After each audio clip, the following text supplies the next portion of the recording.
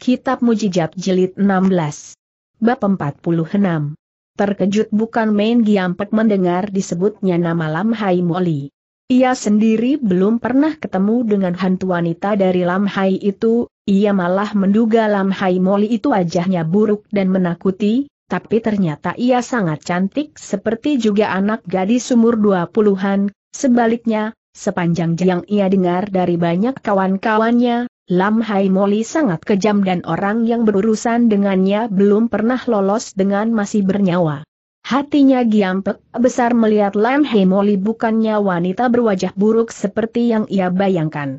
Maka ia lantas keluar dari semak-semak itu meninggalkan Eng Lian yang masih terlentang dengan tidak berpakaian.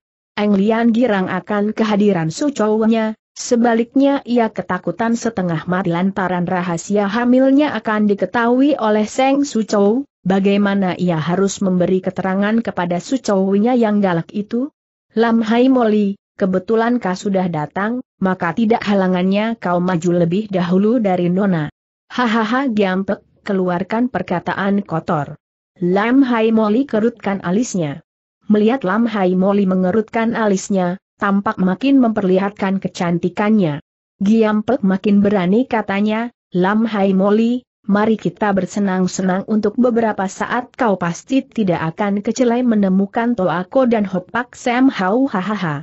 Belum berhenti tertawanya Toako dari Hopak Sam Niao itu tiba-tiba terdengar jeritan menyayatkan dan Giampek tubuhnya terkuali roboh dengan tidak bernyawa. Entah bagaimana Lam Hai Moli bergerak sukar diikuti oleh pandangan manusia, tahu-tahu dadanya Giampek sudah pecah dan jantungnya dirogoh keluar oleh si hantu wanita dari Lam Hai hingga kedua lengannya sinyonya cantik berlepotan darah segar. Terdengar suara ketawanya Lam Hai Moli yang melengking menyeramkan. Itu adalah suara ketawa dari si hantu wanita dari Lam Hai setiap kali ia merogoh keluar jantung musuhnya. Kemudian Lam Hai Moli menghampiri Eng Lian yang tidak berkutik. Dengan sekali sepak, ia membuat si nona bergulingan kontan Eng Lian terbebas dari totokan cepat-cepat ia mengenakan pakaiannya pula dan berlutut mencium kakinya si hantu wanita dari Lam Hai sambil menyebut, Sucou, anak Lian aku lihat kau sedang bunting apakah anakku si ini yang melakukannya tanya Lam Hai Moli yang merasa tidak enak juga hatinya. Ia percaya kalau Kwe yang berbuat itu, sebab ia tahu anak tunggalnya itu sangat menyintai enciliannya dan kalau mereka bercanda suka berlebih-lebihan. Mungkin Kwe kesetanan, hingga Eng Lian tak dapat menolak keinginan si bocah. Dengan air mata bercucuran. Eng Lian menjawab, Sucou, panjang untuk diceritakan, Sebaiknya Sucou tunda dulu mendengar keteranganku dan membasmi dulu orang jahat yang datang ke lembah ini. Mereka pasti sekarang sedang berada di rumahku. Mereka sedang mencari adik In, untuk meminta Sin Keng. Lam Hai Moli terima usul Eng Lian, mari kita ke sana sahutnya, seraya bertindak. Eng Lian mendahului Sucounya sebagai penunjuk jalan. Sampai di sana, ternyata sudah ada pertempuran tampak Wei Chugie sedang dikepung dalam barisan Go Kiam Tin dari Hou San Go Kiam sedang tiga Hwasyo dari Kuil Pek Wan Bio sudah pada menggeletak di atas tanah dengan merintih-rintih kesakitan.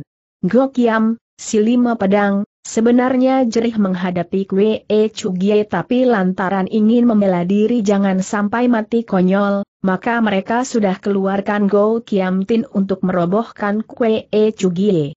Si orang Shikwe e bukannya satu tai hiap, pendekar besar kalau hanya dikurung oleh Go Kiam Tin saja harus kalah.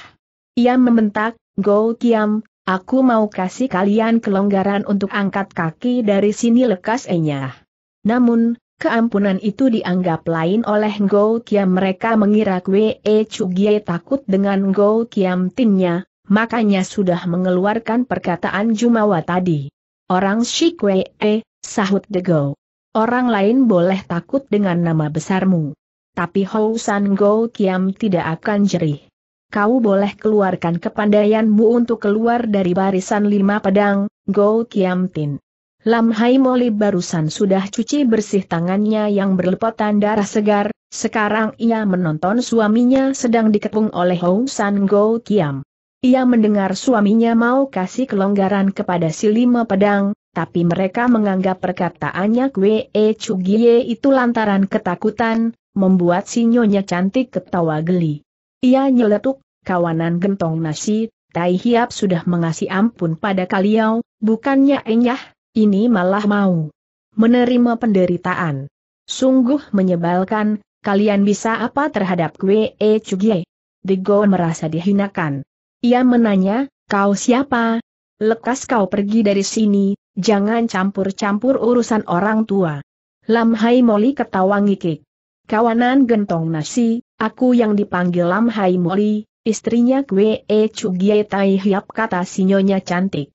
Kaget bukan main hatinya The Go dan empat saudaranya yang lain. Mereka mendengar tentang hebatnya kepandaian Lam Hai Moli, namun mereka belum pernah ketemu dengan orangnya. Kini mereka melihat Lam Hai Moli seorang wanita cantik yang lemah gemulai, perasaan takutnya telah buyar dengan mendadak. Setelah tertawa berkakakan, The God berkata, hektometer. Lam Hai Moli kau boleh turun bantu suamimu, kami juga tidak takut. Celaka, manusia tidak kenal mampus seru Lam Hai Moli.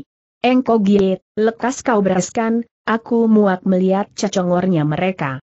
Kue E Cugia hanya ketawa. Sebelum ia bergerak, Lam Hai Moli telah berkata pula, Engko Giet, kalau kasungkan membunuh mereka, kasihkan aku yang bereskan. Terkejut Kue E Cugie. Pikirnya, kalau Lam Hai Moli yang bereskan, pasti lima manusia dari Hoasan ini masing-masing akan kehilangan jantungnya. Ia tahu Lam Hai Moli istrinya sangat kejam kalau ia sudah marah. Maka, daripada lima gentong nasi dari Hoasan itu menderita kematian yang mengenaskan, biarlah ia yang kirim mereka pulang ke alam baka dalam keadaan tidak mengerikan keadaannya. Baiklah aku yang bereskan jawab Kwe E Cugie, berbareng tubuhnya bergerak-gerak seperti bergulungnya angin puyuh, hingga Hou San Go Kiam menjadi gelagapan dan Go Kiam Tin juga jadi bobol karena The Bank yang diwajibkan jaga pintu keluar kena dihajar dadanya, hingga muntah darah, The Go remuk tulang pundak kirinya, hingga kedua tangannya menjadi cacat. Deseng kena ditendang selangkangnya dan jatuh roboh tidak bangun lagi. The Kiang dan The Xiong patah tulang iganya masing-masing. Sampai di situ, baru mereka merasakan lihainya Kwe E yang sangat kesohor itu. Lam Hai Moli mau menghampiri dan menamatkan jiwanya mereka, tapi Kwe E mencegah, katanya, adik Ing, jangan, biarkan mereka hidup. Mereka toh tidak akan muncul pula dalam dunia Kang Ou, sebab semua tubuhnya sudah cacat. Eh, anak kalian kau bawa kemari mayatnya bangsat Giampek, perintah Lam Hai Moli kepada Eng Lian. Sinona mengiyakan dan segera pergi. Tidak lama ia kembali dengan mayatnya Giampek yang sudah bolong dadanya dan jantungnya yang Lian lemparkan di dekatnya. Kalian saksikan kata Lam Hai Moli bengis suaranya. Inilah contohnya kalau kalian masih memusuhi anakku. Sekarang lekas kalian enyah dan sini. Tiga Hwasyo dari Pek Wan Bio dan Hou San Go Kiam pada gemetaran tubuhnya melihat kematian Giampek yang mengenaskan. Mereka merasa bersyukur tidak ketemu dengan Lam Hai Moli kalau tidak, pasti dada mereka juga pada bolong dan dicabut jantungnya masing-masing. Diam-diam kepala kuduk mereka rasakan pada mengkirik berdiri. Setelah mereka pada menghaturkan terima kasih atas kemurahan hatinya Kwe E Cugie, lalu mereka berlalu dari tempat itu, yang tidak bisa jalan telah dibimbing oleh kawannya yang masih kuat berjalan. Kapan mereka sudah pada berlalu? Eng Lian telah jatuhkan diri pula berlutut di depan Lam Hai Moli, yang kali ini didampingi oleh Kwe E Cugie. Kau kenapa, anak Lian tanya Kwe E Cugie heran. Kau kenapa kata Lam Hai Moli ketawa mesem. Apa kau tidak lihat perutnya gendut? Tentu anak in yang membuat gara-gara, entah ke mana anak itu, tidak ada di sini? Kue E Cugie terbelalak matanya dan menatap pada Eng Lian yang tengah berlutut sambil menangis terisak-isak. Anak Lian, ke mana anak En? Apakah buntingmu itu adalah perbuatannya anak intanya Kue E Cugie, nadanya seperti kurang senang pada anaknya yang nakal. Eng Lian geleng kepala. Terkejut hatinya Lam Hai Moli dan Kue E Chugie. Hei, siapa yang bikin kau hamil? Anak Lian tanya Lam Hai Moli. Eng Lian, sambil menangis sesenggukan, telah menceritakan siapa yang telah membuat ia hamil, care bagaimana ia menjauhkan diri dari Kue In sehingga si bocah telah meninggalkan Tong Hang Ge. Lam Hai Moli hampir tidak percaya mendengar penuturannya Eng Lian. Ia menghela napas berulang-ulang, demikian pun dengan Kue E Chugie. Sebenarnya, kau bisa berontak dan membunuh Xiao Hek, Lam Hai Moli menyesalkan. Kau pandai silat, dikemanakan kepandaianmu itu, kalau bukan untuk menjaga kehormatanmu. Kau diam saja, tentu saja si Xiao Hek jadi keenakan. Eng Lian membisu atas sesalan kakek gurunya, Su Chou. Sebenarnya memang dia bisa berontak dan membunuh. Xiao Hek seperti yang dikatakan Lam Hai Moli, cuma saja ia tidak berbuat demikian, karena pada saat ia sadar bahwa bukannya Kwe Ing yang menindihi, Perkaka Xiao Hek sedang bekerja dalam pintu gerbangnya dan kasih perasaan nikmat yang tidak pernah ia alami sebelumnya. Maka Eng Lian tidak bertenaga untuk mendorong pergi Xiao Hek yang sedang sengitnya dan baru ia menyesal setelah beras menjadi bubur. Kau di sini hanya sendirian, berkata Lam Hai Moli, mari ikut kami saja ke Coakok. Di sana banyak pelayan yang akan menolong kau di waktu bersalin. Di sini, kau akan menghadapi banyak bahaya atas kedatangannya tokoh-tokoh silat kuat yang ingin menemui anak In berhubung dengan Itsin Keng, kau mana dapat mengusir mereka dalam keadaan mengandung. Seperti kejadian ini hari, kalau tidak dengan care kebetulan kami datang ke sini celakalah kau dijadikan korban kebuasannya Giampek. Eng Lian tidak menjawab, hanya air matanya menetes dengan deras mengalir di kedua belah pipinya yang montok putih. Lam Hai Moli dan suaminya merasa kasihan kepada nasibnya Eng Lian. Apabila kau setuju, kata pula Lam Hai Moli ketika melihat Eng Lian diam saja, kau boleh pergi lebih dahulu ke Coako, kami masih ada urusan lain yang harus diselesaikan, ialah urusan Itsin Keng yang terus-menerus anak In digerembengi oleh mereka yang tidak percaya anak In tidak memiliki kitab ajaib itu. Eng Lian angguk-anggukan kepala. Ia berjanji, manakala ia sudah pertimbangkan kepergiannya ke Coako ia akan pergi ke sana. Lam Hai Molim senghela napas. Melihat Eng Lian seperti ragu-ragu untuk menerima kebaikannya. Lam Hai Moli menduga Eng Lian tidak akan pergi ke Coako. Selagi si hantu wanita masih memujuki Eng Lian tiba-tiba terdengar pekikan si burung raksasa dari jauh Eng Lian kegirangan, karena sudah lama ia kehilangan Kim Tiao. Seperti dikatakan di atas, Kim Tiao tidak senang melihat kelakuan Eng Lian dengan Xiao Hek, maka si burung raksasa telah meninggalkan si Nona. Seperti awan hitam saja yang bergulung-gulung, kelihatan si Raja Wali mendatangi dengan sayapnya yang besar luar biasa. Engko Gie, burung apakah itu demikian besarnya tanya Lam Hai Moli pada suaminya. Itulah burung Raja Wali emas yang aku sering lihat melayang-layang di atas lembah, sahut Kwe E Chugie, yang terpesona juga oleh kedatangannya si burung raksasa yang sekonyong-konyong itu.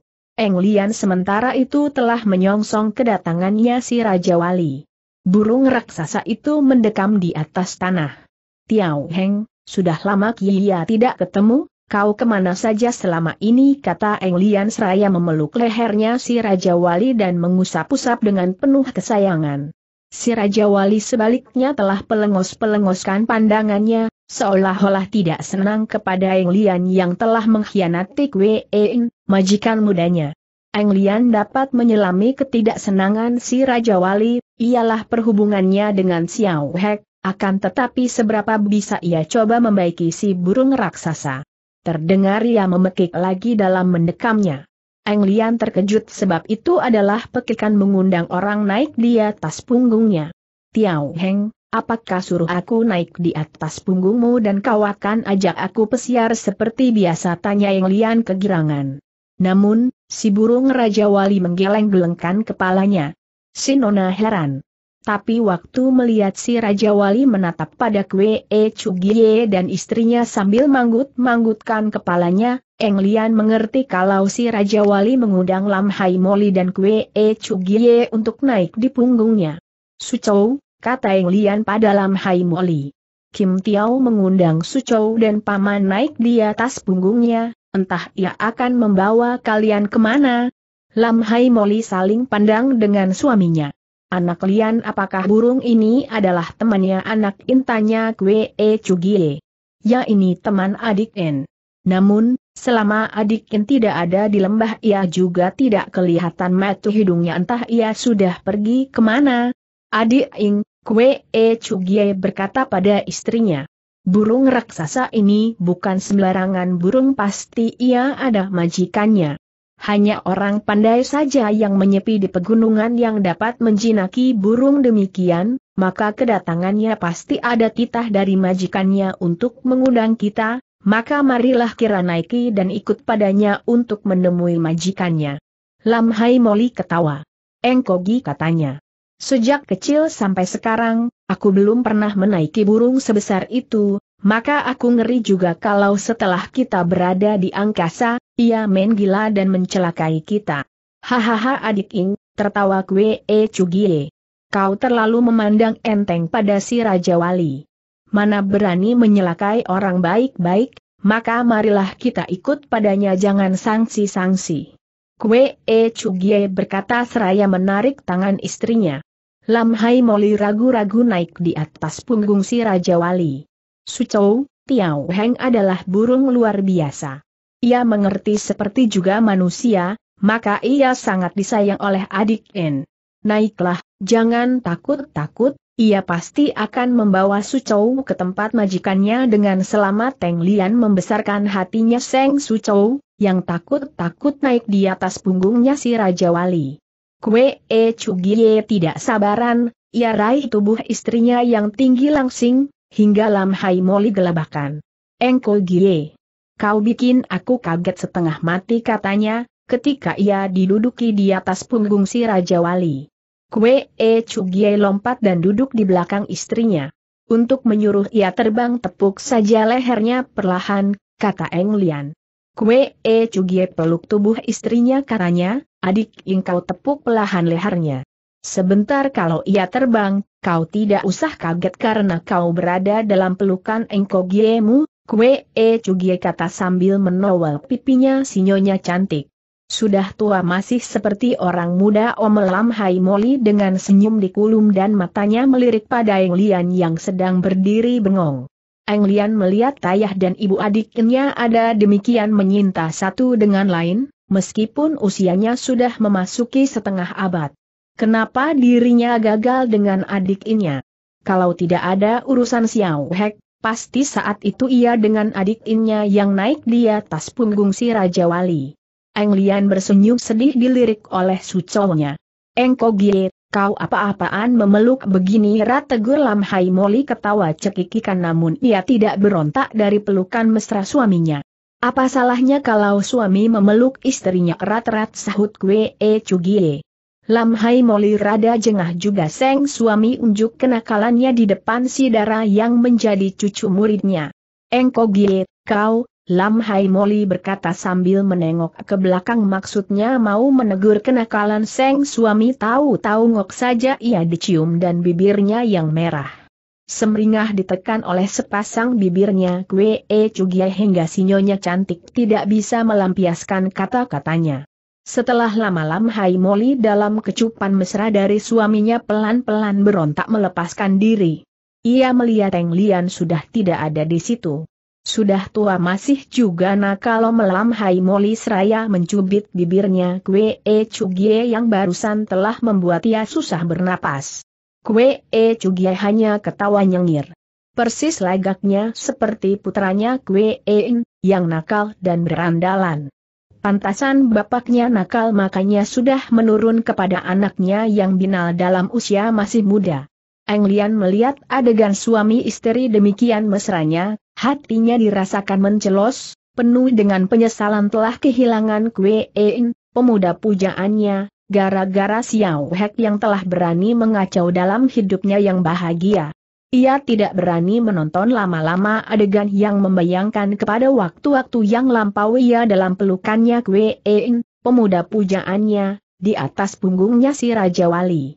Ia lantas angkat kakinya berlalu, untuk memberi kesempatan kedua suami istri itu tidak kikuk-kikuk melepaskan kemesraannya satu dengan lain. Kembali Kwe memeluk erat-erat istrinya yang cantik. Engko Gie, kau masih belum puas memeluki istrimu. Hektometer. Tua-tua genit melam Hai Moli, seraya tangannya menggerpe ke belakang dan mencubit pahanya Kwe E Chugie hingga suaminya berjengit kesakitan. Lam Hai Moli ketawa cekikikan melihat suaminya menggeliat-geliat kesakitan. Tengah ia tertawa enak, Tahu-tahu ngok lagi Kwe E mencium pipinya sebelum si nyonya cantik membuka mulutnya mengomeli, bibirnya dirasakan berat kena ditekan oleh sepasang bibirnya Kwe E. Kembali sepasang suami istri itu menikmati kebahagiaan hidup dalam dunia yang fana ini. Adik Ing, kau tepuk pelahan lehernya si Raja Wali, bisik Kwe E Chugie. Lam Hai Moli Sielan Ing menurut, segera juga mereka telah dibawa terbang oleh burung raksasa itu.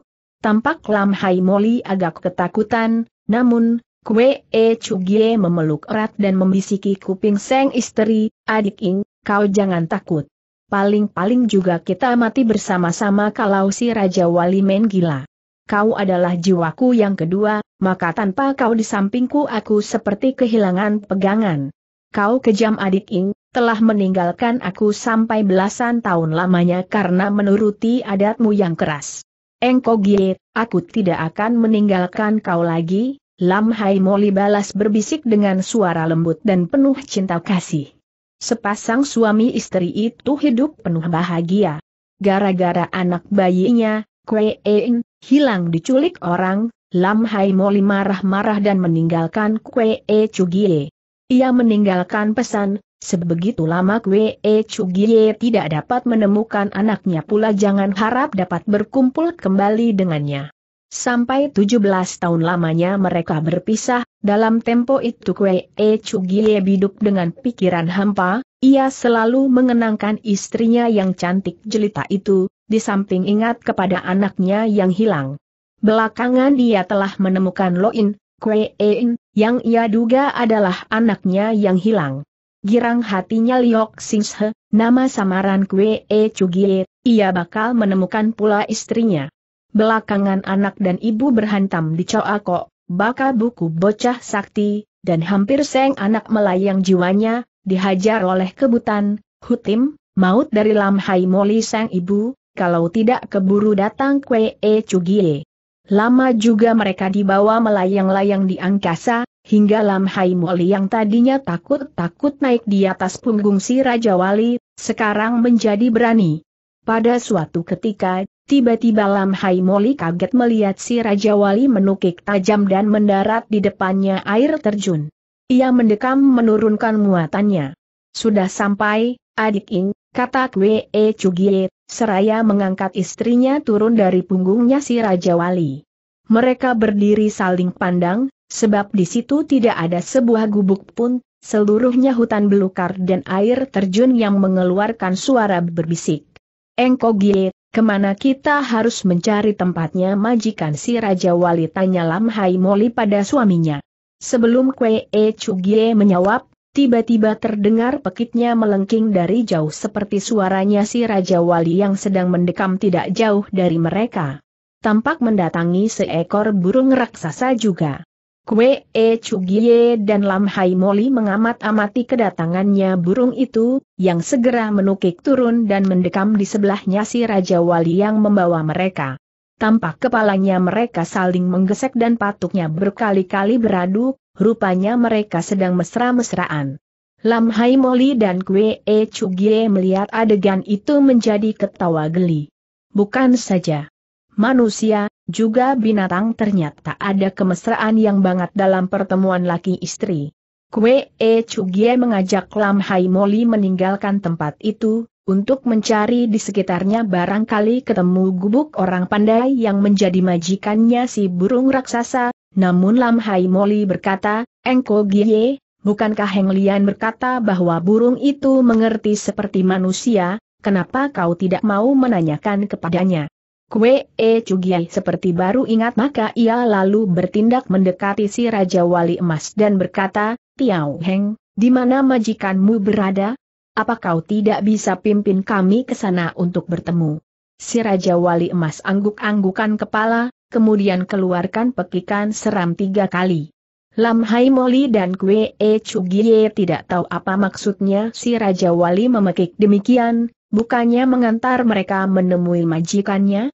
Selagi mereka bertanya-tanya dalam hatinya masing-masing, tiba-tiba ada dua ekor kera keluar dari goa melalui air terjun dan menghampiri kepada mereka. Adik ing rupanya di balik air terjun itu ada tersembunyi sebuah goa, kata Kue E Chugie kepada istrinya.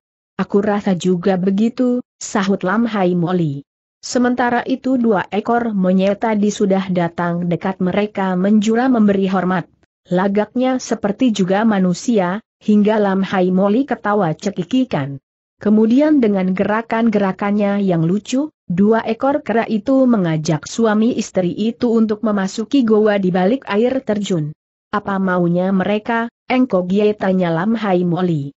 Aku kira mereka mengajak kita memasuki goa di balik tirai. Air terjun itu. Mari kita pergi ke sana mengajak Lam Hai Moli. Kue E Chugie bergandengan mendekati air terjun, mereka mengawasi untuk sesaat lamanya. Oleh karena matanya yang tajam dapat menembusi air terjun maka mereka dapat melihat, benar saja di balik air terjun itu ada sembunyi sebuah goa. Dengan tidak ragu-ragu pula, Suami istri Iunjot tubuhnya dan saling susul memasuki goa tersebut. Dua ekor kera juga menyusul belakangan dengan tubuh yang tingan sekali kelihatannya, hingga Kwe E Chugie dan istrinya merasa kagum. Mereka diantar oleh dua ekor kera itu ke sebelah dalam. Setelah membelok beberapa tikungan lantas mereka menemukan suatu ruangan yang terang benderang, di mana ada duduk dua orang, wanita dan pria. Sang wanita masih muda, sedang yang pria sudah kakek-kakek. Lam Hai Moli berkata, Engko Gie kau lihat, mereka itu tentu adalah majikannya si Raja Wali Emas dan dua ekor kera tadi.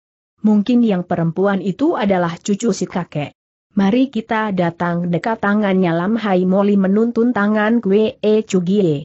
Kue E Chugie mengikuti istrinya dengan mata menatap kepada dua penghuni goa itu. Hatinya si orang Shikwe e tiba-tiba berdebaran setelah datang lebih dekat. Ibu, ayah tiba-tiba terdengar Kwe E Chugie berseru dan lompat menghampiri kepada dua penghuni goa itu yang bukan lain adalah Kwe E Eng Xiang dan Tio Leng San, kedua orang tuanya Kwe E Chugie. Kwe E Chugie jatuhkan dirinya berlutut di depan ibu dan ayahnya. Dengan roman yang sangat menyayang. Tio Lengsan mengusap-usap kepalanya Kwe E Cugie sementara pendekar kita telah menangis sesenggukan. Suatu pertemuan yang tidak terduga dengan di antara anak dan kedua orang tuanya. Lam Hai Moli yang belum pernah ketemu dengan mertuanya, menjadi berdiri bengong melihat Kwe E Cugie berlutut dan memanggil ayah dan ibu. Pikirnya si kakek mungkin adalah ayah Hengkogianya namun, itu yang wanita masa ibunya? Apa Kwe E punya ibu tiri? Usianya wanita itu boleh dikatakan sebaya dengannya. Adik engkau datang dekat kemari panggil Kwe E Cugie kepada istrinya. Lam Hai Moli menurut. Di depan mertuanya ia juga berlutut turut suaminya. Adik Ing, mereka adalah ayah dan ibuku kata Kwe E Cugie. Kau harus memberi hormat sebagai lajaknya nyonya mantu. Sielan Ing menurut, ia bersoja dan memanggil ayah dan ibu seperti Kwe E Cugie. Senang hatinya Kwe E Eng Xiang dan Tio Leng San. Anak Gie, kau punya istri begini cantik, apa tidak takut direbut orang Tio Leng San berkelakar. Lam Hai Moli ketawa ngikik, ia tidak kira ibunya Kwe E Cugie bisa berkelakar demikian lucunya, hingga tidak tahan hatinya seperti dikitik-kitik. Lam Hai Moli, Siapa orangnya berani dekat padanya jawab Kwe E Chugie bangga. Sielan Ing mencubit pelantangannya Kwe E Chugie, katanya, kau bisa saja engkau gie. Kau bicara memangnya di depan siapa? Adik Ing, ibu dan ayah akan merasa bangga mempunyai mantu seperti kau jawab Kwe E Cugie, seraya mengusap-usap tangan istrinya yang putih halus laksana kapas. Tio Lengsan dan suaminya tertawa terkekeh-kekeh melihat kelakuan anak dan mantunya. Mereka girang anaknya menemukan kebahagiaannya di atas dirinya si Nona yang cantik luar biasa, cuma sayang perbedaan umur ada terpaut jauh sekali. Lengsan juga menduga si Nona baru berusia dua puluhan, sungguh jauh terpautnya dengan anaknya yang mendekati setengah abad usianya. Kwe E Cugie dan Lam Hai Moli disilahkan bangkit dari berlututnya dan DL suruh duduk di atas kursi, mereka menurut tanpa merendah lagi. Dalam ngomong-ngomong barulah kedua wanita itu mengerti, kalau masing-masing telah menemukan benda ajaib sehingga menjadi awet muda. Leng Sin telah memakan buah ajaib, sedang Lam Hai Moli mendapat obat awet muda dari gurunya. Keduanya wanita cantik itu pada ketawa terkekeh-kekeh setelah mengetahui duduknya urusan, sementara Kwe E Chugie di lain pihak sedang asik bicara dengan ayahnya.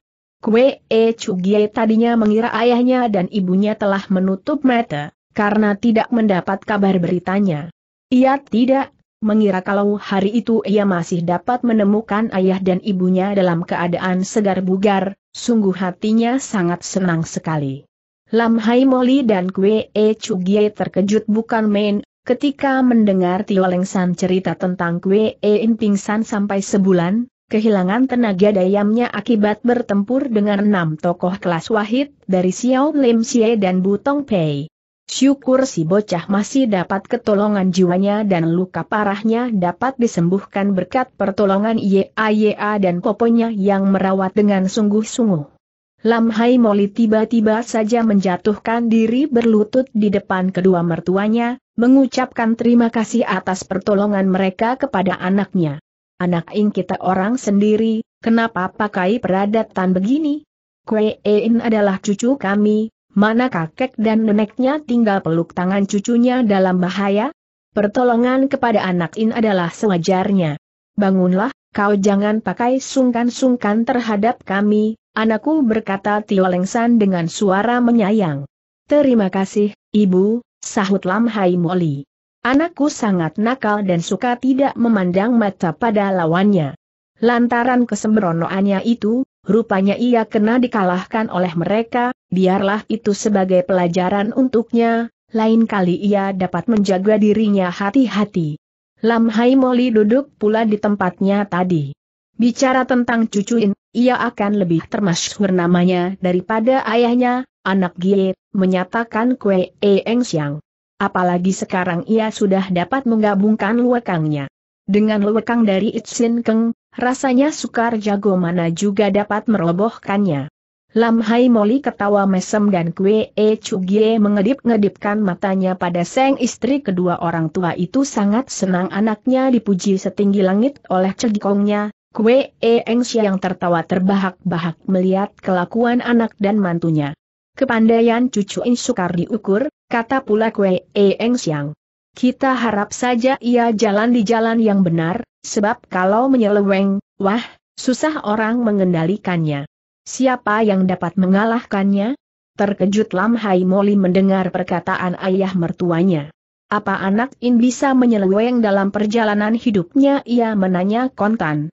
Bukan itu maksudku, aku cuma mengatakan kalau cucuin adalah manusia biasa, kalau hatinya nanti tergoda, siapa tahu ia akan jalan nyeleweng sahut Kue E Eng Siang.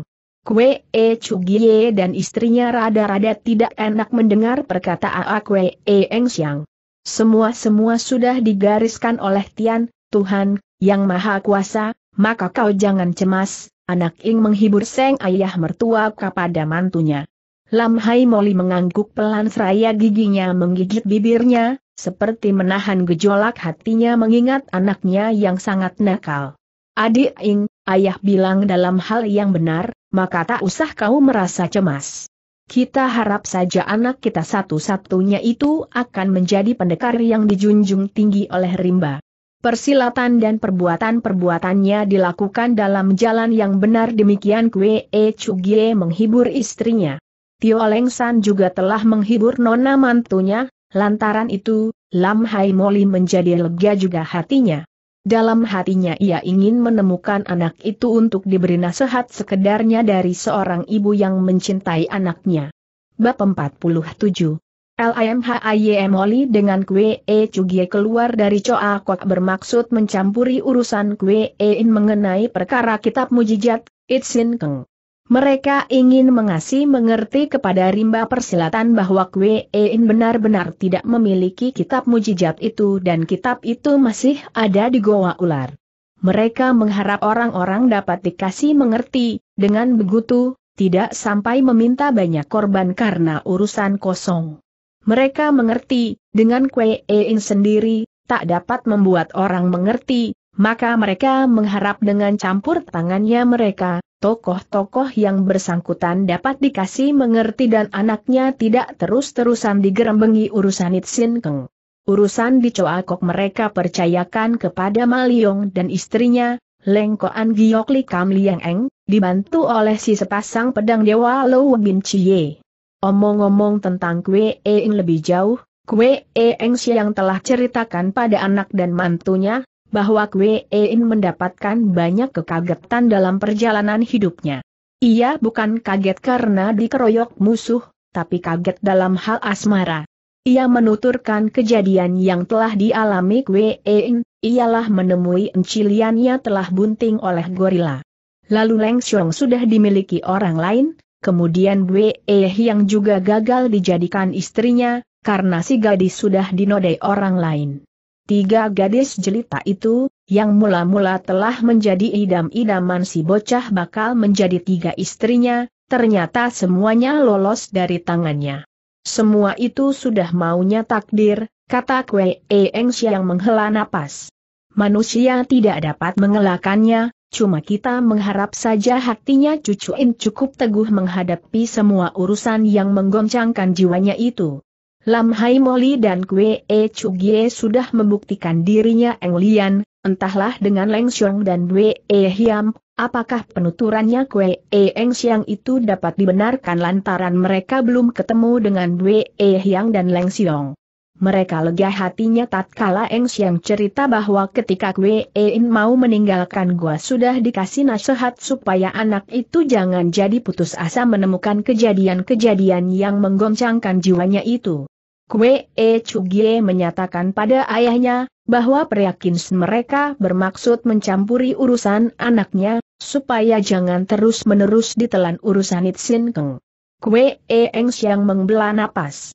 Ia berkata, kau berdua mau campur urusannya cucuin baik juga, hanya aku rasa tidak semudah yang kalian duga. Urusannya Itsin Keng nanti akan dibereskan sendiri oleh cucuin. Anak dan mantu itu anggukan kepalanya, sedang dalam hatinya ragu-ragu bahwa mereka tak dapat membereskan soal rumit dari anaknya.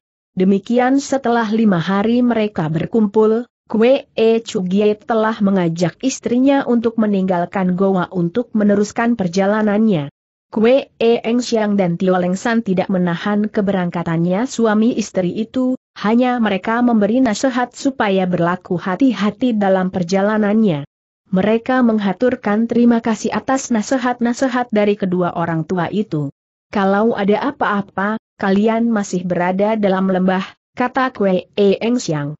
Masih ada Raja Wali Emas yang akan membantu kalian, namun, setelah keluar dari lembah, harap berhati-hatilah karena kalian hanya mengandal tenaga berdua saja, kata Kwe Eng Siang ketika hendak berpisahan. Anak harap semoga urusan anak in dapat diselesaikan dengan mudah, sahus Kwe E Cugie. Yaitu memang yang aku juga harapkan, kata Kwe E Eng Siang. Setelah keluar dari goa, Kwe E Chugie dan istrinya bingung juga ke mana mereka harus menempuh keluar dari lembah. Manakala si Raja Wali Emas dapat menunjukkan jalanan, ada baik juga, namun ke mana si Raja Wali, tidak ada di situ.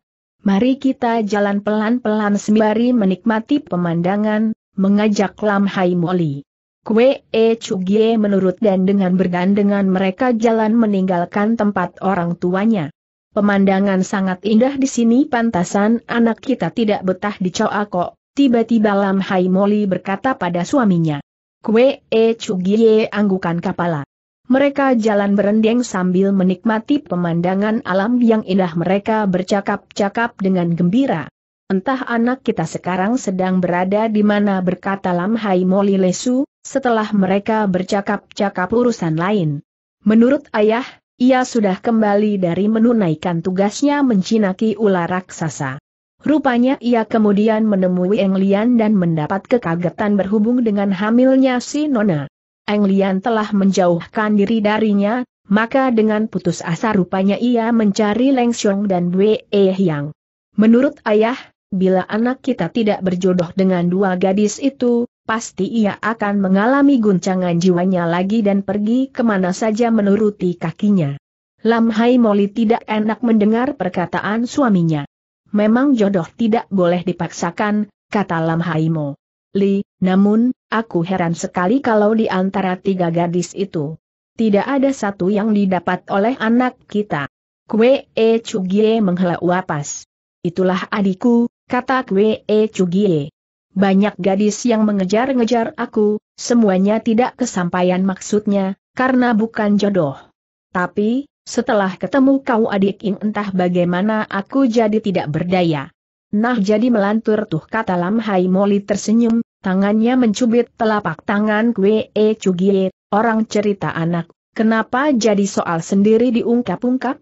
Ada-ada saja ini Kue E Tai Hiap. Kue E Cugie ketawanya ngir mendengar istrinya berkelakar. Tengah mereka bergurau, tiba-tiba dikagetkan oleh gerombolan monyet yang serabutan lari sambil perdengarkan suaranya cecowet nyaring. Mereka lompat dari satu ke lain cabang pohon seperti ketakutan. Hei kawanan monyet itu seperti ketakutan, ada apa sih tanya Lam Hai Moli. Aku tidak tahu, sahut Kwe E seraya hentikan tindakannya. Kiranya kawanan monyet itu telah dikejar oleh beberapa orang. Kawanan kera itu membuat perlawanan dengan melemparkan buah-buahan dari atas pohon, namun, mereka tidak bisa berbuat banyak, karena orang-orang yang mengejar mereka rupanya kepandaian tinggi dan telah menggunakan senjata rahasia untuk membuat beberapa di antara kawanan monyet itu pada jatuh semaput di tanah. Kue E Cugie kenali orang-orang itu di bawah pimpinan Tek Hietojin dari Butong Pei. Ia lihat ada tiga imam, termasuk Tek Hie, seorang tauto, pendeta piara rambut panjang, dan tiga orang biasa yang mukanya semua bengis-bengis menakutkan. Kue E Chugie tidak kenal lainnya, kecuali Tek Hie Tojin sendiri. Selamat berjumpa Tek Hie Tot yang menyambut Kue E Chugie ketika mereka sudah dekat, hingga Tek Hie menjadi terkejut ketemu Kue E Chugie di situ. Hehe, Kue E Tai Hiap ada di sini Tek Hie Toti yang tertawa. Tek Hie berbareng perkenalkan kawan-kawannya. Dua iman temannya bernama Tek Gie dan Tek Li, sedang si Tauto adalah bongkok tanto dari Provinsi Siam Sei, sedang tiga yang lainnya adalah Hopak Semeng, tiga jagoan dari Hopak. Hopak Semeng ada hubungan saudara angkat dengan Hopak Sem Niao, tiga burung dari Hopak, Kedatangan mereka ke lembah itu justru hendak mencari keterangan halnya Hopak Sam Niao yang tidak ada kabar ceritanya. Bongkok Tauto terkenal dalam provinsi Siam Sai sebagai Taso yang disegani kepandaiannya yang tinggi. Ia datang ke situ, seperti yang lainnya, tertarik dengan kabar-kabar perihal Sin Keng ada di tangannya Hek Bin Sintong. Kue E Tai Hiap ada di sini ada urusan apa? Tek Hie mengulangi pertanyaan. Aku hendak ketemu anakku, tapi kebetulan ia tidak ada di lembah, sahut Kwe E Cugie. Siapa anak Kwe E Eng tanya Tek Hie Tojin. Ia bernama In, tentu Toti yang sudah kenal dengannya, sahut Kwe E Cugie ketawa. In, apakah Kwe E In atau Hak Bin Sintong menegaskan Tek Hie Tojin? Toti yang tidak salah memang Kwe E In anak kami, sahut Kwe E Cugie. Ini siapa Tek Hie menanya, Kue E seraya menunjuk pada Lam Hai Moli. Ia Lam Hai Moli istriku, ibunya Kue E sahut Kue E. Terkejut hatinya Tek Hie Tojin mendengar jawaban Kue E. Ia tidak mengira kalau Hak Bin Sintong adalah putranya Kue E yang tersohor sebagai Tai Hiap, pendekar besar, dan Lam Hai Moli, wanita hantu dari Lam Hai, yang terkenal ganas kalau menghadapi musuhnya. Ia manggut pada Lam Hai Moli, dan juga telah balas manggut seraya mesem. Pikir Tek Hie sangat cantik wanita ini, kenapa pakai nama Moli, wanita hantu? Sungguh tidak pantas gelaran itu untuk wanita cantik demikian. Seperti yang lain, yang belum pernah ketemu dengan Lam Hai Moli. Tek Hie juga menduga kalau Lam Hai Moli itu adalah satu nenek atau setidak-tidaknya seorang wanita yang parasnya sangat jelek menakuti. Sekarang ia buktikan sendiri Lam Hai Moli adalah seorang wanita cantik dengan wajah welas asih hatinya jadi besar. Lam Hai Moli kalau begitu tidak ada apa-apanya yang ditakuti, pikirnya. Cuma saja untuk urusan Hek Bin Sintong ia harus bentrok dengan Kue E Chugie dan Lam Hai Moli benar-benar hatinya merasa tidak enak namun, urusan Sin Keng telah mempengaruhi nyalinya, maka ia ambil keputusan kalau perlu, tidak apa bentrok dengan Kue E Chugie suami istri. Maka ia berkata, Kue E Eng, kami ada berurusan dengan Hek Bin Sintong, harap kau dengan istri suka memberi muka padaku untuk tidak campur-campur dalam urusannya Hek Bin Sintong. Kami keluar dari Choa Kok, justru hendak mencampuri urusan anak kami, harap Tot yang tidak menjadi kecewa hati nyeletuk Lam Hai Moli. Kami datang kemari bukannya hendak membuat susah Hek Bin Sintong, asal ia mau menyerahkan Sin Keng, perkara sudah menjadi selesai sampai di situ. Justru Hek Bin Siatong tidak menyimpan Itsin Keng, maka kami yang sebenarnya sudah masuk kotak lenyap dari dunia Kang Ou, terpaksa muncul pula untuk memberitahu kepada kalian, bahwa anakku Kwe In memang tidak menyimpan buku tersebut. Kami ingin mendamaikan supaya urusan jangan berlarut-larut mengganggu anakku, kata Lam Hai Moli dengan suara tenang-tenang saja. Tek Hie Tojin, yang sudah tahu sampai di mana kepandaiannya Kwe E Chugie, rada jerih untuk bergerak sembarangan justru bagi bongkok tauto yang tidak sabaran, Tek Hie mengulur-ulur tempo, ia perdengarkan suaranya yang mengguntur. Paling baik si Chu bujuk anak si Chu, supaya menyerahkan Itsin Keng dengan sukarela, jangan menanti sampai kami turun tangan yang akan membuat renggangnya tali persahabatan saja. Anak kami tidak ada, ada urusan apa-apa boleh berurusan dengan orang tuanya Skrulam Hai Moli dengan lantang. Tek Hye Lojin terkejut, sebab itu pertanda Lam Hai Moli telah menantang. Totiang, kita tangkap saja kedua orang tuanya ini, lantas kita paksa supaya Hek Bin Sintong mengeluarkan Itsin Kengnya nyeletuk Goweng dari Hopak Semeng. Hai hai hai Lam Hai Moli tertawa. Kue E Cugie kaget mendengar istrinya nyekikik ketawa. Ia tahu, bahwa istrinya kalau nyekikik ketawa di depan lawan artinya hatinya sudah sangat gelusar dan akan meminta jiwa akibatnya. Usul saudaraku betul, Toti yang jangan banyak cakap lagi, terjang saja sudah menganjurkan To Weng. Lieng juga, si Bontot dari Hotpak Sam Eng telah menganjurkan menerjang seperti saudaranya, hingga Tek Toti yang bimbang, sebab ia masih ragu-ragu apakah mereka dengan jumlah tujuh orang dapat merobohkan dua jagoy yang sudah kesohor namanya? Sebelum Tek Tojin mengambil keputusan, tiba-tiba Bongkok Tauto sudah mendahului menyerang pada Lam Hai Moli, yang tidak kenal dengan kelihayannya si hantu wanita dari Lam Hai. Pikirnya dengan mudah ia akan menangkap wanita cantik di depannya. Kalau sampai berhasil, ia kerjakan sekalian untuk kesenangannya. Nyana si Tauto terlalu memandang enteng pada Lam Hai Moli. Meskipun hebat serangan si Tauto, ternyata dengan seenaknya saja diilahkan oleh jago wanita yang belum menemukan tandingan itu. Bongkok Tauto heran serangannya gagal. Sambil ketawa hahaha ia menyerang lagi dengan jurus Kim Tiao Bian Jiao, Raja Wali Emas perlihatkan kuku, tangan kanannya pura-pura mau menyolok mata sedang tangan kirinya menotok jalan darah di bawah buah dada lawan. Sungguh kurang ajar perbuatannya si Tauto sampai Lam Hai Moli mendengus seram. Alisnya yang bagus dikerutkan, itu tanda bahaya bagi lawannya. Kue E Chugie yang melihatnya merasa sangat ngeri, ia ingin mencegah istrinya berbuat ganas tapi sudah tidak keburu. Gerakan Lam Hai Moli terlalu cepat untuk diikuti oleh pandangan mata. Tahu-tahu si Tauto mengeluarkan jeritan yang menyayatkan dan tubuhnya roboh. Di tanah dengan dada bolong dan jantungnya sudah dicopot keluar. Kejam teriak Goweng, seraya mencabut goloknya. Ia ajak dua saudaranya mengeroyok Lam Hai Moli.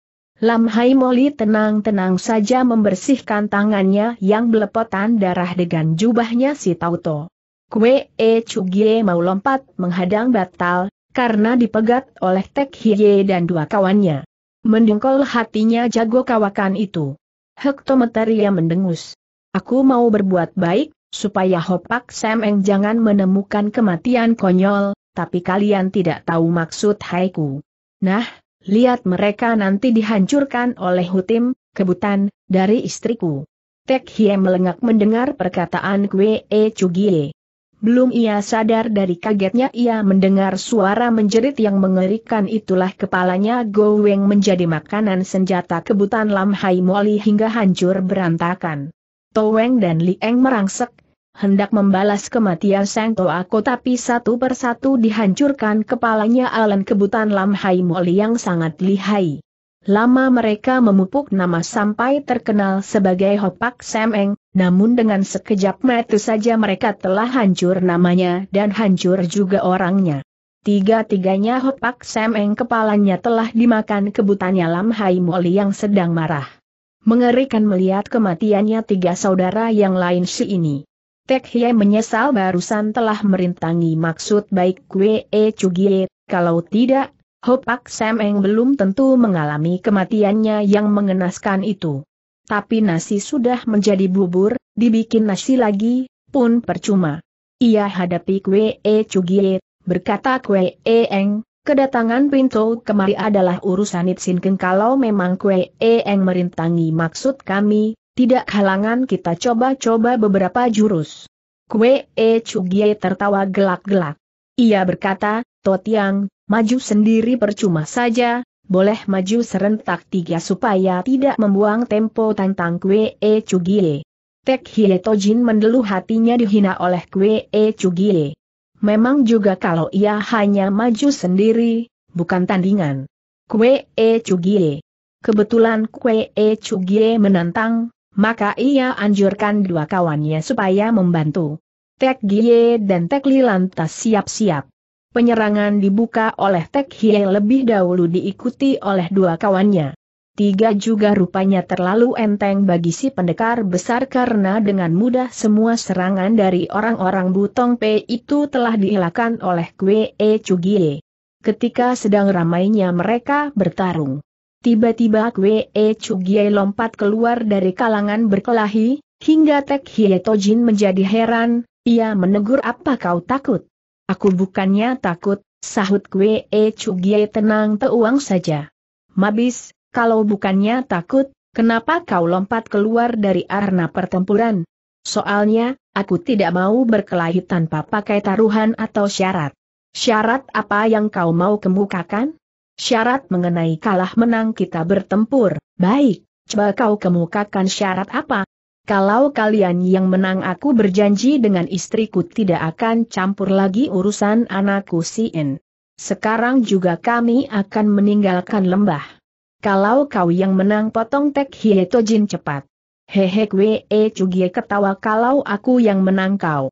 Harus turut seperti aku.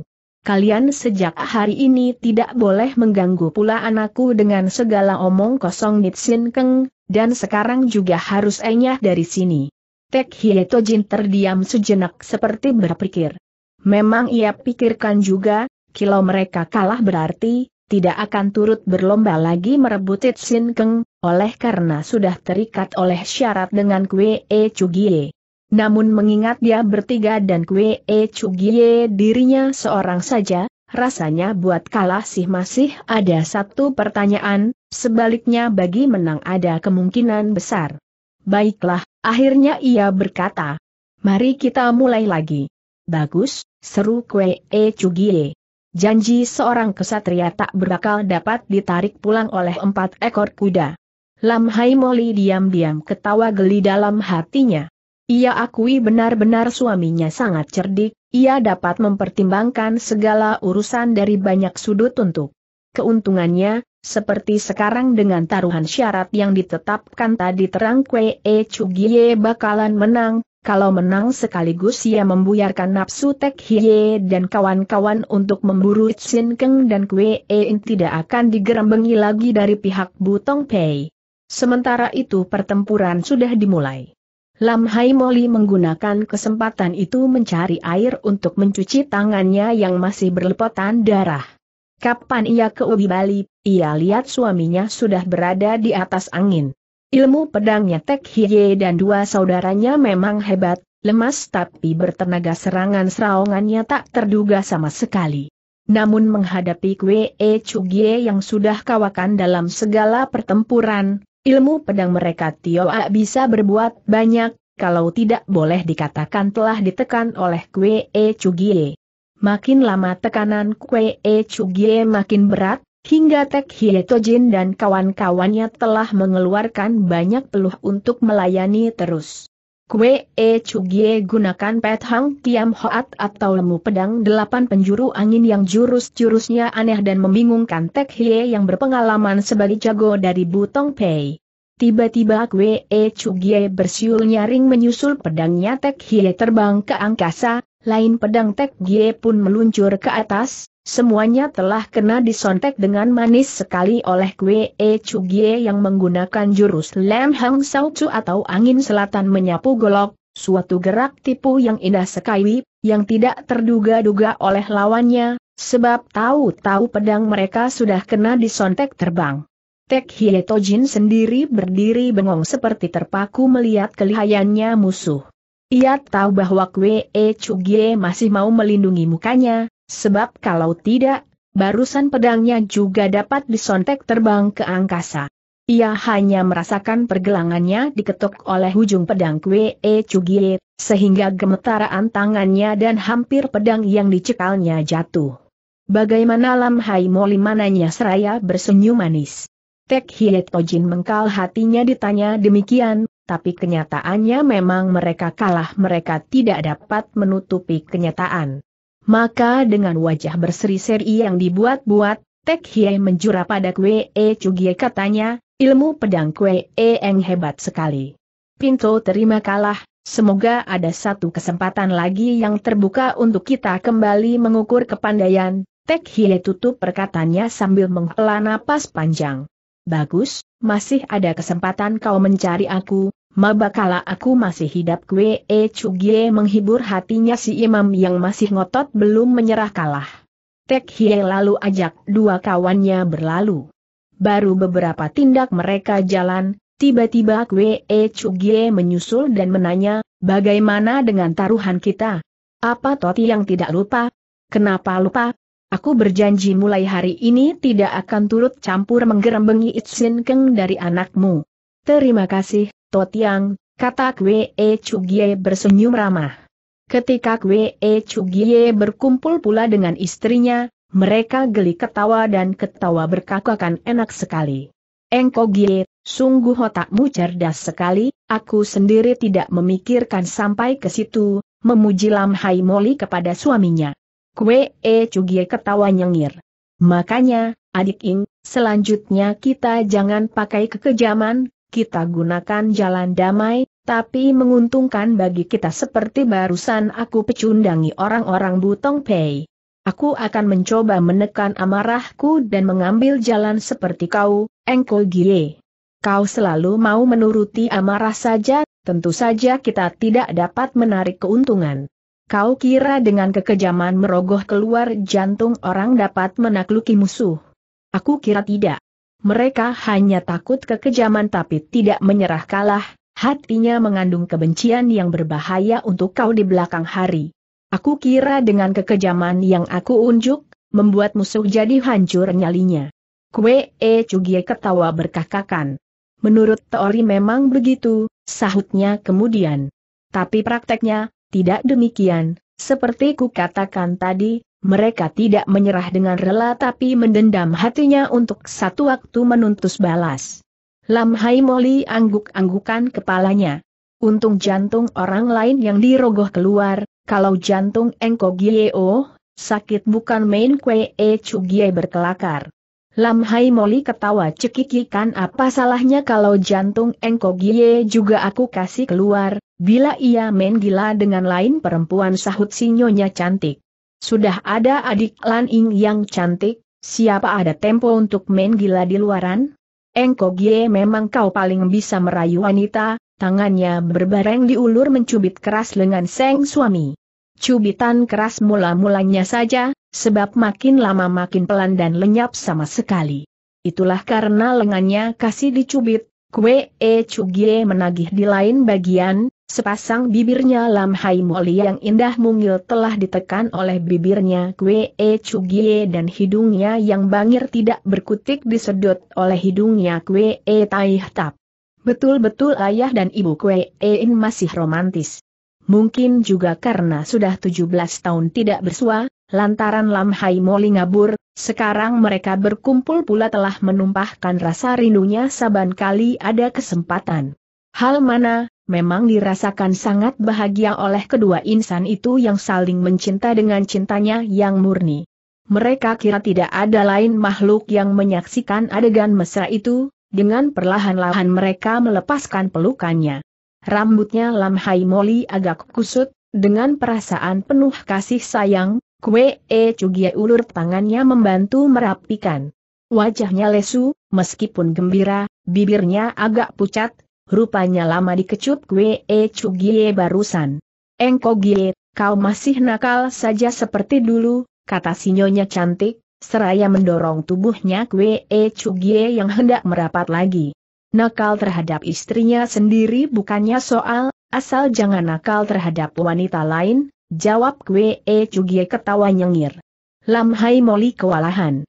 Ia jebikan bibirnya, lalu merapikan pakaiannya. Kapan ia melihat ke atas, hatinya kaget dan agak jengah juga, karena di atas dahan-dahan pohon banyak monyet yang bercokol tengah menonton adegan mesra barusan. Kurang ajar seru Lam Hai Moli, seraya mengambil batu dan dilemparkannya kepada kawanan kera itu, hingga mereka tumpang syur lari cecowetan. Kue E Cugia hanya ketawa berkakakan melihat istrinya yang cantik marah-marah pada kawanan monyet yang mencuri lihat mereka sedang main cinta. Adik Irek, mari kita meneruskan perjalanan mengajak Kue E Cugie. Mari, cuma perutku merasa lapar, sahut Seng istri. Nanti aku carikan makanan kata kue E Cugie, berbareng tubuhnya melesat tinggi dan menklok di dahan pohon.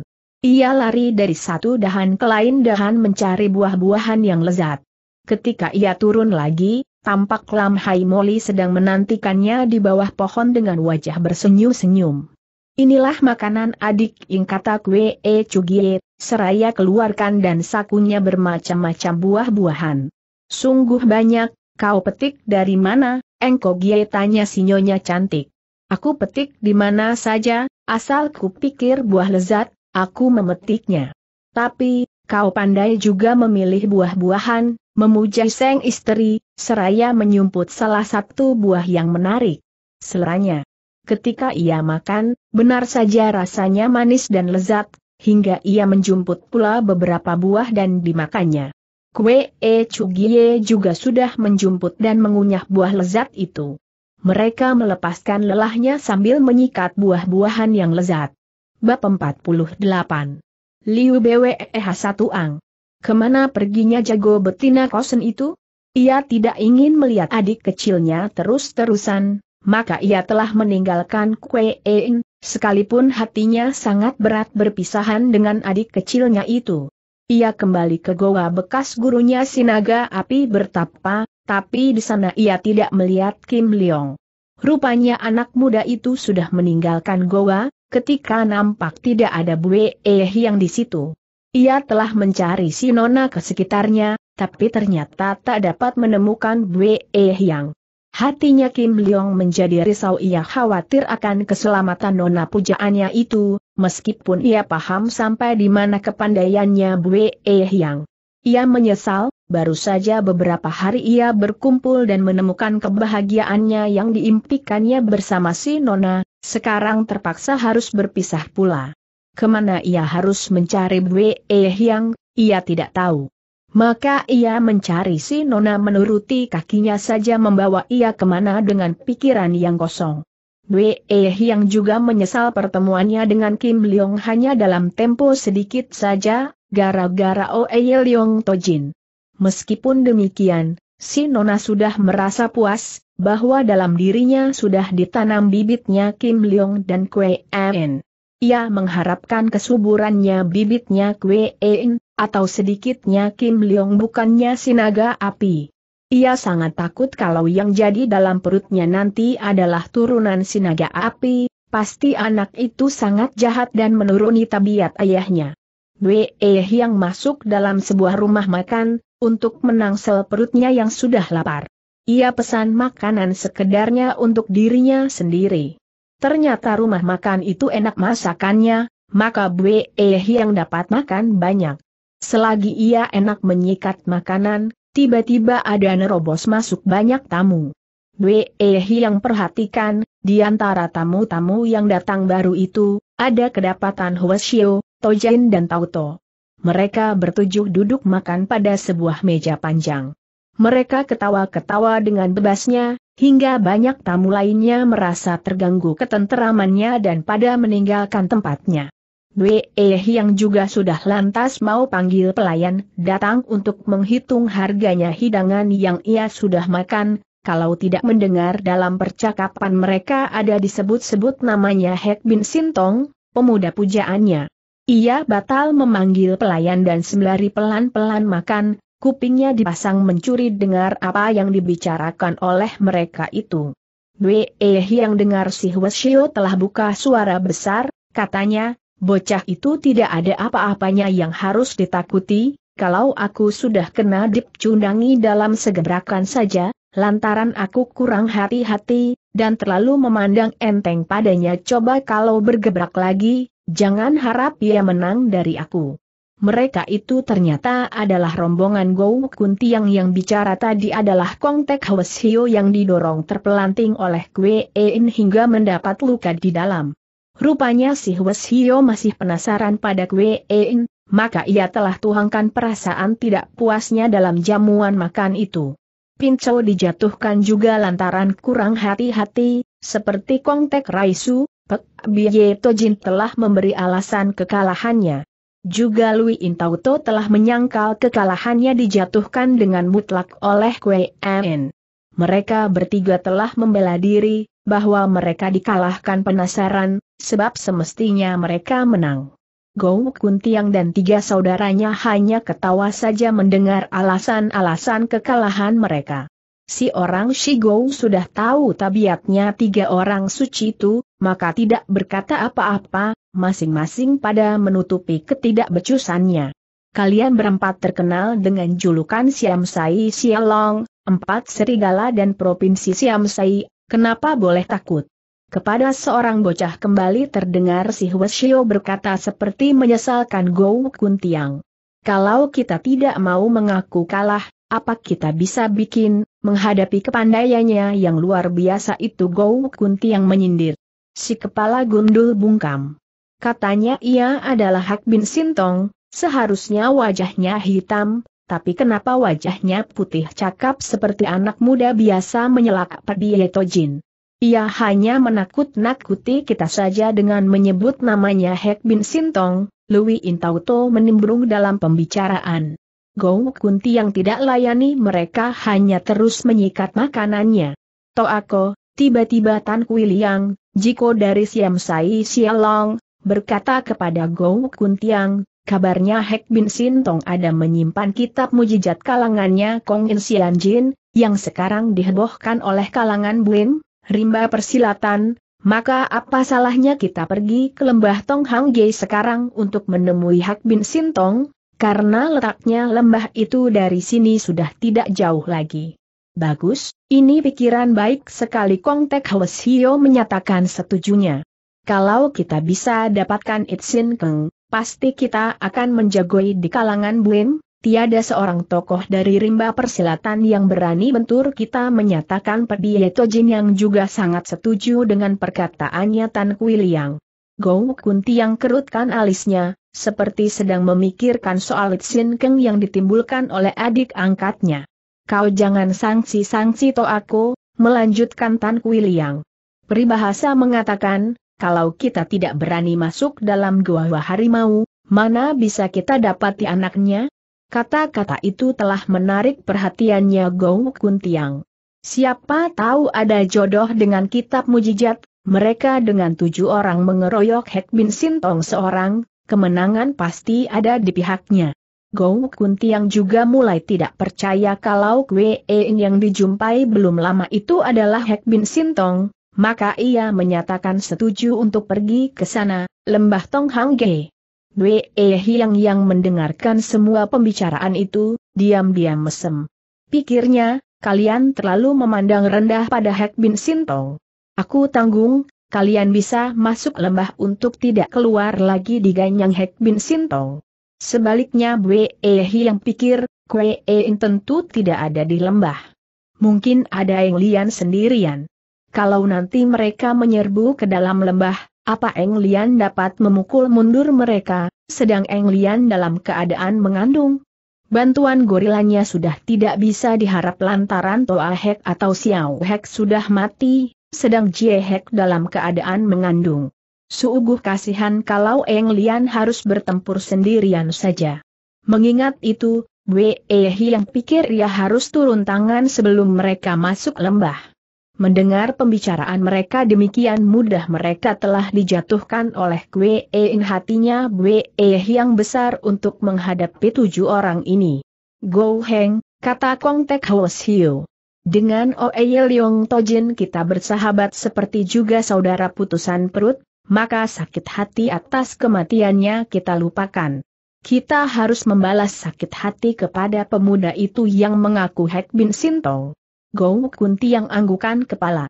Di lain pihak, Bwe yang sangat terkejut mendengar disebutnya Oe Leong Tojin. Rupanya Kwe In telah mengakui bahwa kematian Oe Leong Tojin dibunuh olehnya dan tujuh orang itu datang hendak menuntut balas, hanya sayang mereka telah dikalahkan. Apakah Kwe In juga akui bahwa murid-muridnya Oye Tojin dibunuh olehnya? Ini Bwe yang tidak tahu, tapi ia percaya si bocah akan akui semua pembunuhan itu dilakukan olehnya. Ia kenal watak adik kecilnya yang tidak ragu-ragu mempertanggungjawabkan atas pundaknya sendiri untuk segala perbuatan yang dilakukan oleh enci-encinya. Mengingat akan kebaikannya Kwe In, maka tidak ragu-ragu lagi Bwe yang mengambil keputusan untuk turun tangan mengusir tujuh orang jahat itu. Ia cepat-cepat selesaikan makannya, lalu membayar hidangan yang ia sudah makan. Ia keluar dari rumah makan itu tanpa dicurigai tujuh orang yang sedang asyik memindahkan makanan ke dalam perutnya. Bwe yang mendahului mereka tidak jauh dari batas lembah Tong Hang Ge. Selama menunggu kedatangan Gou Kuntiang dan kawan-kawannya, Wei yang duduk di atas akar pohon yang menonjol sambil melamun. Ia membayangkan dirinya yang sekarang sudah bukan perawan lagi. Apakah ia pulang ke Kunhiang atau terus merantau? Kalau ia pulang ke Kunhiang ia merasa tidak bebas, tidak punya kawan untuk diajak mengobrol. Kalau terus merantau, ia sekarang sudah rasakan pahit getirnya merantau tanpa teman yang berkepandaian tinggi, sangat membahayakan, bahaya kehormatan akan dinodai orang jahat membayangi seakan-akan momok. Seperti telah terjadi dengan dirinya, beberapa kali ia lolos dari bahaya ternoda kehormatannya, akhirnya Tohia tidak bisa meloloskan diri dari tangannya sinaga api. Bimbang juga hatinya Bwe Hyang, ia menghadapi teka-teki bagaimana ia akan hidup selanjutnya. Selagi ia termangu-mangu memikirkan perjalanannya kelak, rombongan Gou Kunti yang sudah datang dekat, Bwe yang cepat bangkit dari duduknya dan menghadang mereka. Gou Kuntiang dan kawan-kawannya heran tiba-tiba dihadang oleh seorang wanita cantik. Bwe yang benar-benar berani ia menegur. Numpang tanya, kalian hendak ke mana? Matanya Kong Tek Hio melotot melihat si Nona yang menghadang itu sangat cantik dan tubuhnya yang serba padat menggairahkan. Begitu juga dengan dua orang suci lainnya, matanya mencilak melihat Bue E Hyang. Sikap yang rakus demikian bagi Bue E yang sudah biasa, maka ia tidak heran atau juri, malah ia ketawa ketika tegurannya tidak dijawab. Apa kalian tidak dengar pertanyaanku Bue E yang menegur lagi? Gou Kunti yang maju ke depan. Nona, kau keluyuran sendirian di daerah pegunungan yang sunyi ini, apa tidak takut diganggu orang jahat tanyanya? Orang jahat banyak, tapi mereka segan mengganggu aku, karena aku adalah pelayannya Hek Bin Sintong jawab Bwe E yang ketawa mesem.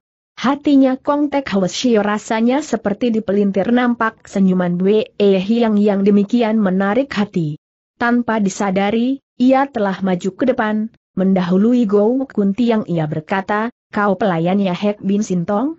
Sungguh bikin hatiku iri, kau terlalu cantik untuk menjadi pelayannya Hek Bin Sintong. Tanda petik. Taisu, baik-baik sedikit dalam caranya mengucapkan kata-kata, memotong kuntiang.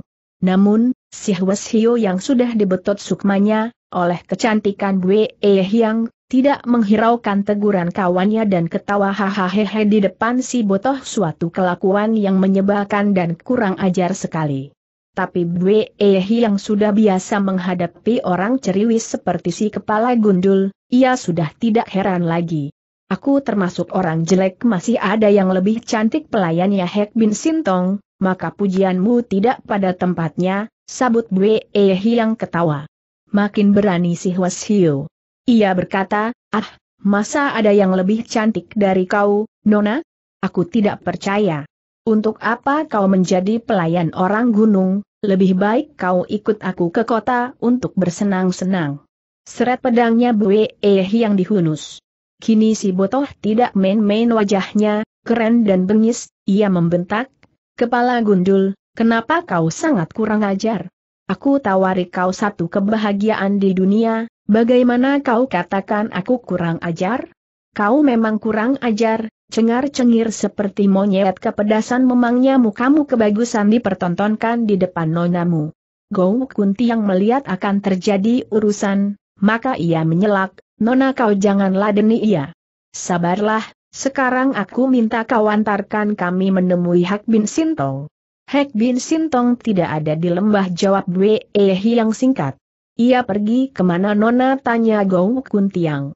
Ya pergi untuk suatu urusan, untuk apa kau mau tahu kalau begitu, bawalah kami ke tempatnya, di sana kami akan menanti kedatangannya.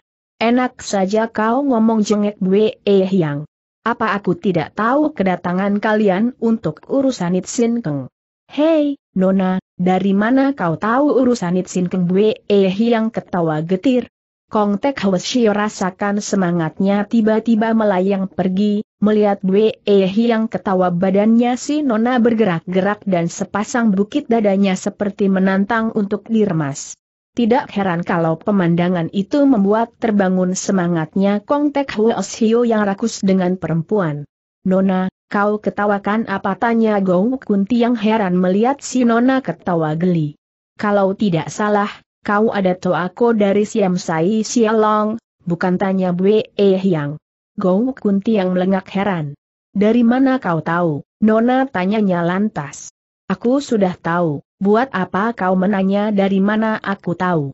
Kalau kau sudah tahu, ada baiknya, lekas antar kami ke tempat Hek Bin Sintong. Untuk aku mengantar kalian ke sana mudah saja, asal kalian dapat melewati aku dulu. Hihihi Eh yang ketawa dengan jumawa. Kenapa kita harus bersetempur tanya Gong Kuntiang? Itu suatu keharusan, Hek Bin Sintong ada keluarkan aturan, siapa mau menemui ia, harus kalahkan dahulu pelayannya yang ditugaskan menjaga. Oh, begitu kata Gou Kunti yang heran. Kasihkan aku yang menangkapnya, Gou Heng nyeletuk Kong Tek. Baiklah, kau maju tempur pada si Nona, tapi jangan bikin susah padanya. Asal kau dapat menol bajunya saja, cukup, pertandingan tak usah diteruskan. Bukankah begitu, Nona kata Gou Kunti yang ketawa nyengir kepada Bue Eh Yang. Bagus, kau boleh maju tantang Bwe yang pada si kepala gundul. Kong Tek Hwasyo tak usah ditantang kedua kalinya, sebab ia sudah lantas lompat ke depan Bue Hiang dengan tongkatnya yang berat. Nona manis, sebaiknya kita jangan bertempur menggoda Kong Tek Hwasyo kau ikut saja Hudia ke kota pasti kau akan merasa sangat beruntung hidup di kolong langit. Hwasyo cabul bentak Bue Hiang. Lihat nonamu akan selot mulutmu yang kotor berbareng Wei yang sudah menyerang dengan pedangnya. Kong Tek Hwasyo pandang enteng si nona, maka ia gunakan tongkatnya menangkis dengan tiga bagian tenaganya. Namun untuk kekagetannya, ia melihat tongkatnya terpental dan hampir saja ujung pedangnya si nona mampir ke tenggorokannya, kalau tidak ia cepat berkelit ketika si nona rubah serangannya dari mengarah pundak pindah ke tenggorokan. Keringat dingin mengucur di badannya si kepala gundul. Setelah mendapat pengalaman Pahiria berlaku hati-hati melayani si Nona. Wei yang hatinya rada gemas pada si kepala gundul yang kotor mulutnya, maka ia tidak kasih Kongtek Hwasyo bernapas.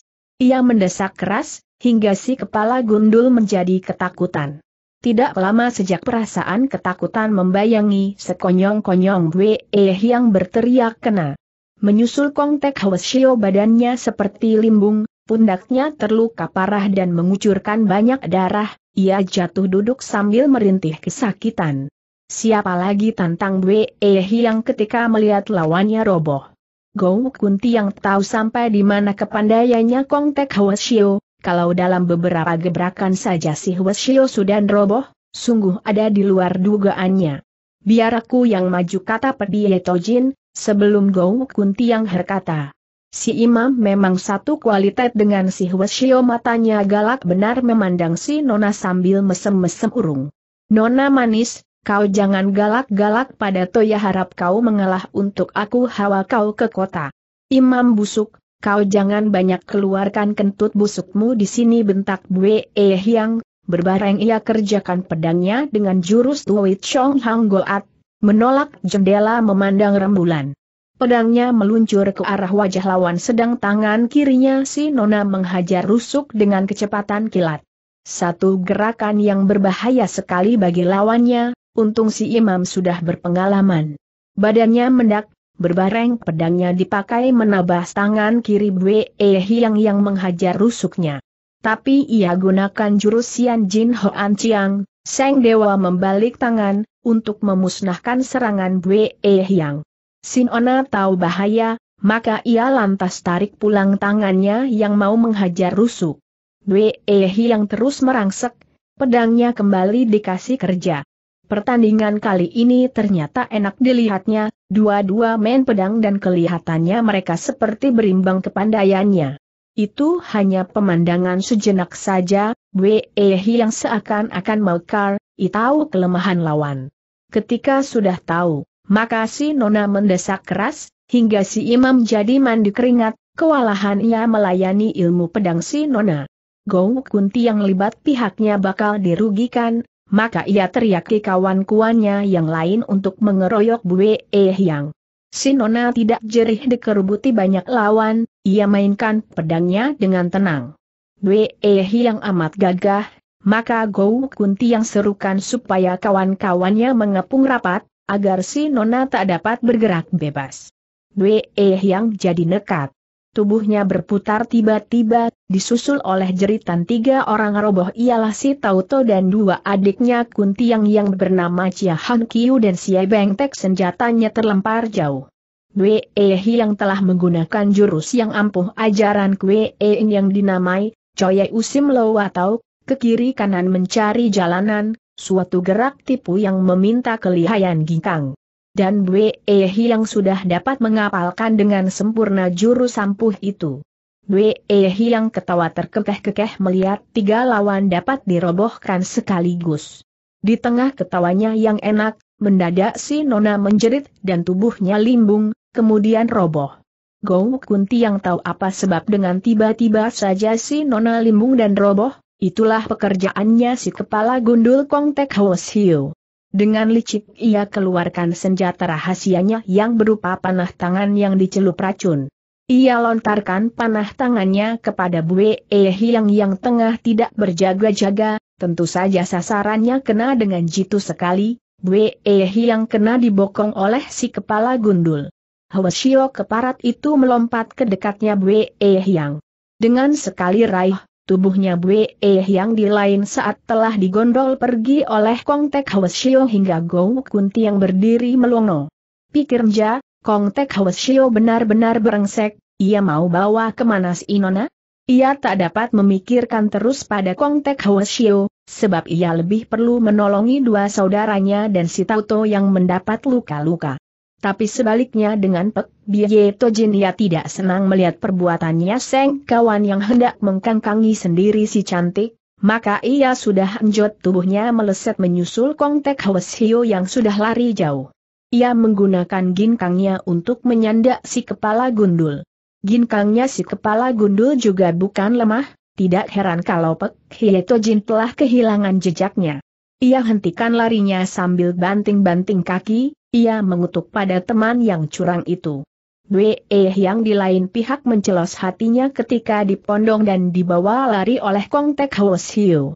Pikirnya, kembali ia akan menjadi bulan-bulan dari laki-laki rakus bagaimana ia harus membuat pembelaan, sedang seluruh tubuhnya dirasakan tidak bertenaga?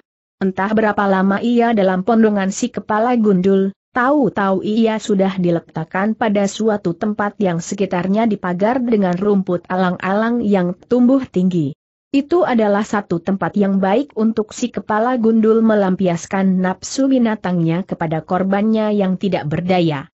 Nona manis, akhirnya kau jatuh juga di tangan Hudia. Tanda petik kata si kepala gundul seraya memeluki dan menciumi Bwe yang dengan bernapsu. Bangsat, kepala gundul dekat mampus kau berani kurang ajar terhadap nonamu. Hektometer. Apa kau kira dapat lolos dari kematian? Tunggu sebentar Hek Bin Sintong akan datang. Ke sini dan ambil kepalamu demikian Bwe yang hanya dapat memaki, sedang ia tidak berdaya sama sekali, karena pengaruh racun panah membuat ia lemas tak bertenaga. Nona manis biar kepalaku menggelundung, asal aku sudah dapat kepuasan darimu yang begini molek, sahut Kong Tek Hwasyo, seraya tangannya menggerayangi tubuh Bwe Eh Hyang, hingga si Nona menjadi sangat ketakutan, mukanya pucat dao pelan-pelan matanya tampak berkaca-kaca menangis. Cemas dan putus asa Bwe Eh Hyang. Ia memikirkan sudah ada tiga bibit dalam dirinya, kalau dikacau oleh bibit si Hwasyo, benar-benar ia tidak terima, ia tidak mengharapkan suatu keturunan dari si kepala gundul jahat. Maka, diam-diam ia sudah ambil keputusan, manakala nanti dirinya sudah dikotori oleh si Hwasyo, ia akan membunuh diri saja. Nona manis, akan ku sembuhkan kau apabila kau sudah menyenangkan Hudia, kau kenapa nah beracunku yang membuat tubuhmu lemas, tidak apa, hanya sebentaran saja, setelah kau wiringi kesenangan Hudia lantas kau akan kembali kuat. Harapkah seterusnya akan melayani Hudia baik-baik, pasti kau tidak menyesal. Tanda petik. Kepala gundul bangsat, tidak lekas sembuhkan nonamu sekarang, mau tunggu kapan? Asal Hek Bin Sintong datang, aku tidak nanti mintakan kau ampun, apabila kau tidak sembuhkan aku dari panah beracunmu. Dwe yang coba menakut-nakuti si Hwasyo.